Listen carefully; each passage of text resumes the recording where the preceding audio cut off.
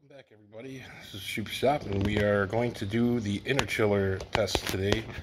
Um, so we can see what it difference it makes with it uh, on or off obviously. Um, what I'm going to do is uh, I drove it home today so it cooled down but I'm letting the temp warm back up and I'll do the first test with the temperature of the coolant about 10 to 20 degrees above ambient uh, which is what normal is. Um, it probably still will actually be a little better than um, the stock setup simply because there's more coolant, so it takes longer to heat that coolant up as far as even with it out being cooled. So uh, we'll just, I mean, I don't know how, how, much of a difference it'll be, but um, I know it's a little bit better. Um, as far as, it's almost been a week with it on, you know, not quite, but close enough. Um, normal driving with the AC on, we're looking at about an average of 55 degrees when it's about 85 to 90 degrees out. And that's in regular mode with AC in the cab. Um, and that's driving it. If I park, it could go down to about 50.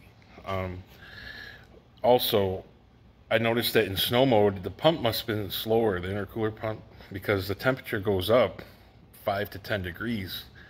Maybe not 10 degrees, but it it's definitely a difference. Um, it seemed like in auto and in sport mode, I thought someone told me in sport mode only, but it seemed like in auto mode, the pump must have been faster because the temp does drop down. Um, so it's kind of nice if you just, you know, want to drive like normal and you're not worried about how cold it is. You could put it in snow mode and it just won't be as cold, but it, it's still going to be colder, you know. I would say that in snow mode it runs about 60 degrees. So um, it, with that temperature, obviously it's going to be uh, a little bit colder if it's colder outside. Um, in race mode, you let's say you were simulating sitting in uh, staging lanes, you're going to probably be looking around 30 degrees, maybe a touch colder. Uh, driving down the road, you'll be in the 40s, about 42. Um, again, that's with the hot temperatures. Um, today, it, the the DA is about 3,000. So uh, the temperature outside is about 81 degrees. It's about 70% humidity. So we're gonna see. This is, I would say, a good test of with and without. See what the difference is. Um, so first, I'm going to run it. Like I said, um, without using it at all. I'm going to leave it off from when we pull out of here um, until we make a run and see what it is. And then I'll put the chiller on and I'll make sure it gets cold enough and we'll do it with it um, as cold as I can get it and see the difference between the two. Um, that will show, I guess, the best case scenario or worst case scenario of it being hot and you wanting to cool it down. So instead of me running it cold first and then running it afterwards with it warmed up and someone could say whatever this is this is a better case the, the whole everything will be warmer so um, we'll get to that okay the first run is going to be at about 100 degrees uh, and we'll see what happens um, the ambient temperature outside is about 85 so that's about where it would normally be sitting at.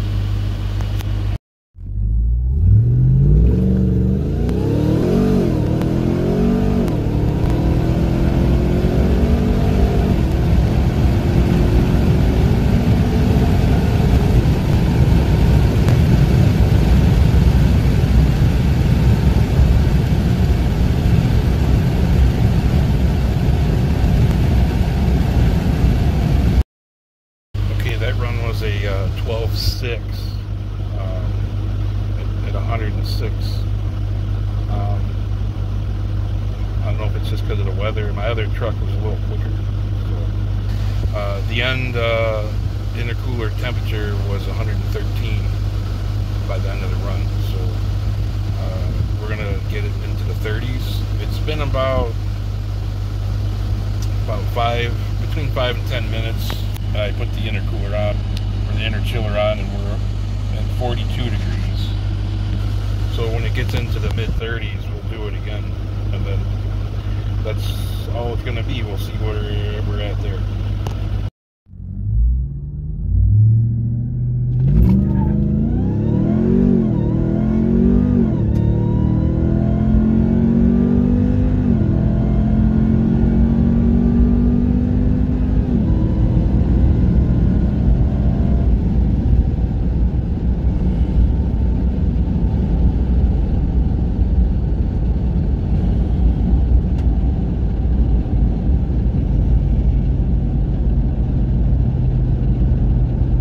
So after that uh, run, there was, I would say, a significant improvement for just changing air temperature.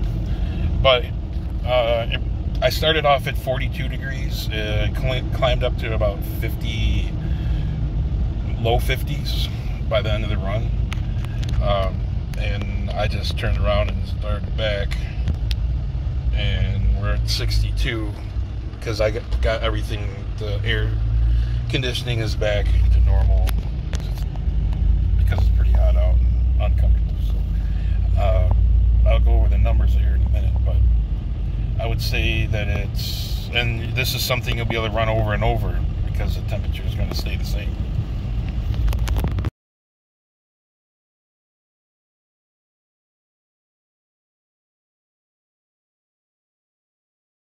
Okay, so overall, looking at the the runs I made, like I said, uh, run one was um, starting at 100 degrees um, intercooler temp, um, and the other one was starting off at 42 degrees.